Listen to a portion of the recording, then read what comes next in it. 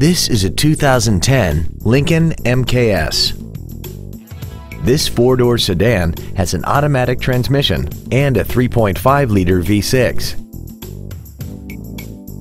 Its top features include a twin turbocharged forced induction system, 100% commercial-free Sirius satellite radio, aluminum wheels, and traction control and stability control systems.